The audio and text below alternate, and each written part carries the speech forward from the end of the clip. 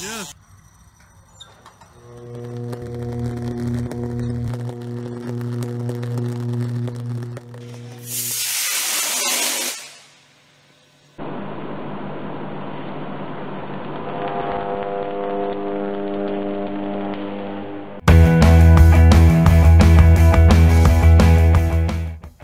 Elektrik günümüzde insanlığın asla vazgeçemeyeceği büyük bir kaynaktır. Medeniyetimizin en önemli objesi olduğunu iddia etsek abartmış sayılmayız. Elektriğin olmadığı bir dünyada büyük bir kalkınma ve medeniyetten bahsedemeyiz. Bundan dolayı bugünkü milyarlarca insan yaşam standardını elektriğe borçludur. Elektriğin keşfinin 1752 yılında Benjamin Franklin'in yaptığı deney üzerinden ortaya çıktığını söylemek mümkün. Ancak belirli kimyasal reaksiyonlar ile beraber elektrik üretecek keşfi ise 1800 yılında İtalyan fizikçi Alessandro Volta tarafından ortaya çıkarılmıştır. Daha sonra yapılan çalışmalar ile beraber keşifler sayesinde elektrik ile olan ilişkimiz giderek artmış, her sokağa ve her eve girmiştir. Osmanlı Devleti'nde ise elektrik üretimi zannedildiği gibi önce başkent İstanbul'da gerçekleşmemiştir. Osmanlı'yı elektrik üretimiyle tanıştıran kişi Avustralya'dan kaçarak Tarsus'a yerleşen Dörflerdir. İmparatorluk sınırları içerisindeki ilk elektrik üretimi Dörfler'in girişimleriyle Mersin'in Tarsus ilçesinde gerçekleştirilmiştir. Silahtar Elektrik Santrali ya da bugünkü ismiyle Santral İstanbul, Osmanlı Devleti'ndeki kent ölçekli ilk elektrik üretim tesisidir.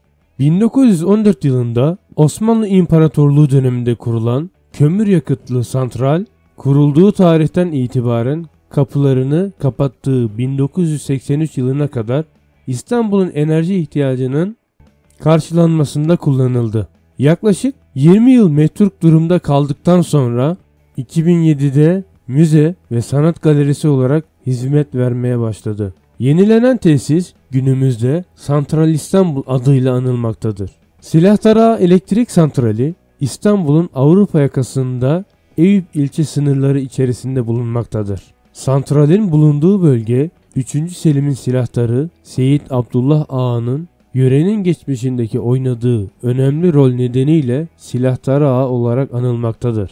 Tesis bu nedenle halk arasında silahtar ağa santrali olarak da adlandırıla gelmiştir. Santral Haliç'in karanın içine sokulduğu en iç noktada Ali Beyköy ve Kağıthane derelerinin birleşerek Halice döküldüğü noktada 118 bin metrekarelik bir alanda kurulmuştur.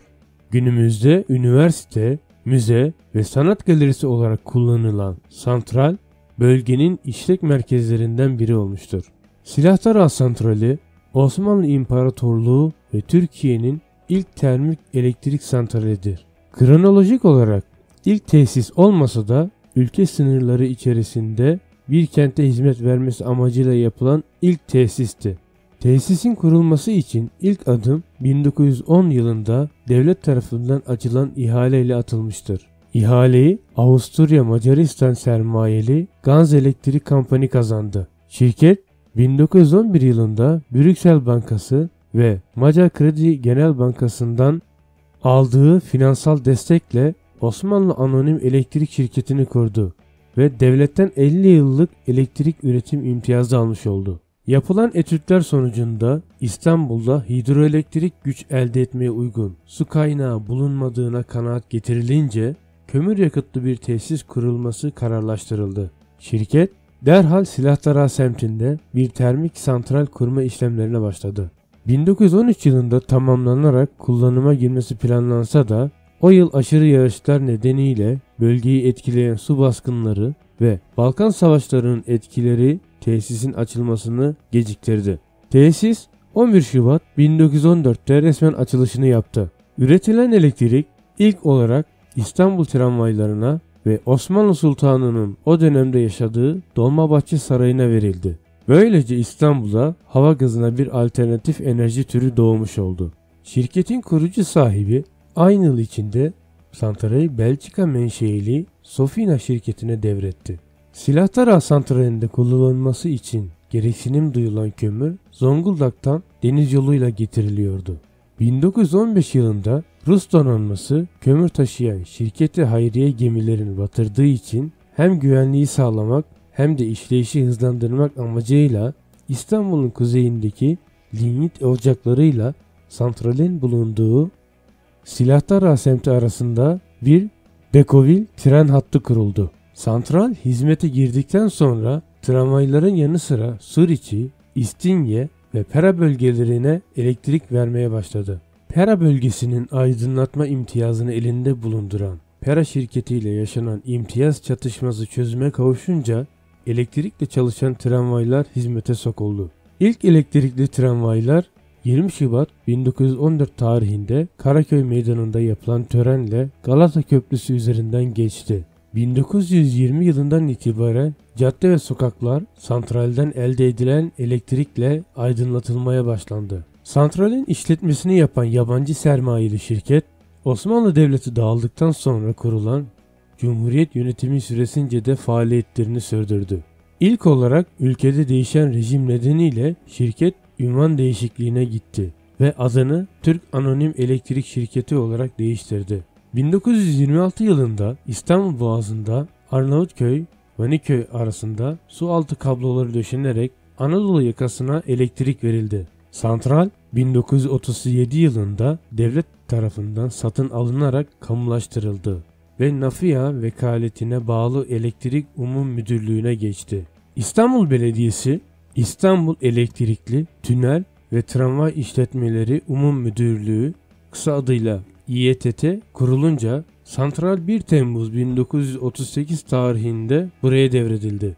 Santral 1952 yılına değin İstanbul'un elektrik gereksinimini tek başına karşıladı. Santralin yönetimi 1962'de Etibank'a, 1970'te ise Türkiye Elektrik Kurumu'na geçti. Türbin ve kazanların yıpranması ve Haliç çevresinde yarattığı aşırı kirlilikten dolayı ekonomik ömrünü tamamladığına karar verildi ve tesis 1 Mart 1983 tarihinde faaliyetine son verdi.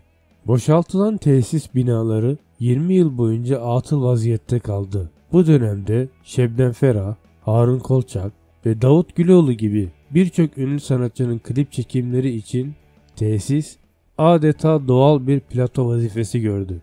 2000'li yıllara gelindiğinde Türkiye Cumhuriyeti Enerji ve Tabi Kaynaklar Bakanlığı'nca İstanbul Bilgi Üniversitesi'ne tahsis edildi. Üniversite yönetimi tesisin aslına uygun bir biçimde yeniden kullanıma kazandırılması için çalışmalara başladı.